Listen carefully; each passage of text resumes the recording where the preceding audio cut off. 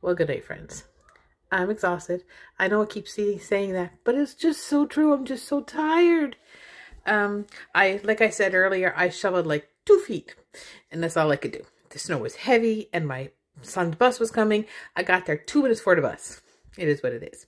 He's been doing his videos. He does them only twice a week now, but they're mega long. um, but he enjoys them. So what can I say? The mega long thing means I don't post them here usually.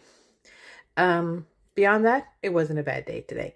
They got to stay home half the day, so that was good for me. I like having my babies home. Um, I got my living room changed around. I like that. I did a little bit of stuff in my bathroom. I like that. Together, slowly, slowly but surely, everything's coming together. Um, some things are where they are until I can get better things to replace them. And as I do, they will change a little bit. The living room, there was glass under the, under the entertainment center for my son broke something. So I wanted to change everything around anyway. And I want to get the glass out before I forgot it was there. Anyway, guys, hope you had a great day. I'll talk to you later.